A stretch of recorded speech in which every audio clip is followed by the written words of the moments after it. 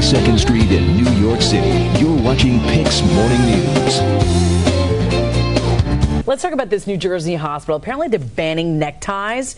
Jersey City Medical Center believes the policy will prevent the spread of flu and germs. And of course, Which- most doctors Yep. wear ties, and you know And those ties don't get dry cleaned every day or washed like everything else. I've been been reading my wire copy. It Yeah. sounded a little crazy to me, but uh, it turns out it's not. Yeah. Steve. It's not. They had a similar thing with stethoscopes, believe it or not, when, when doctors were putting stethoscopes from patient to patient, and you'll notice uh, doctors sometimes will wash the stethoscope with a little alcohol before they put it on someone. Another thing that came up, but you know, uh, ties can be hazardous not only for germs. Uh, as an ER doctor, I can tell you I had some very bad experiences with a tie. It didn't take long before I took it off. Number one, it gets in the way if you're bending Right. over unless it's Yep. attached to you. But patients grab them, especially Oh, yes. especially older.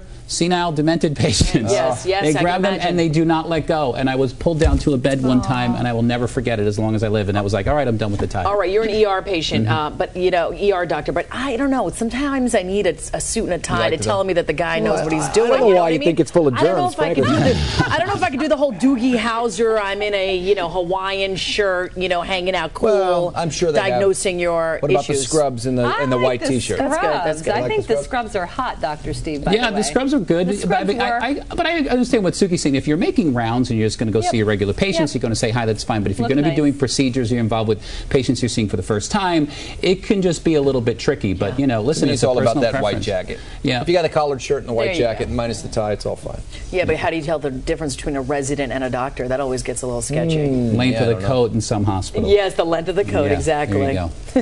All right. Wow, insider tip from Steve. I never knew that. go. That's The a good one. attendings usually wear the longer coats. The, well, in some hospitals, it's not What's across the the, point board. of that?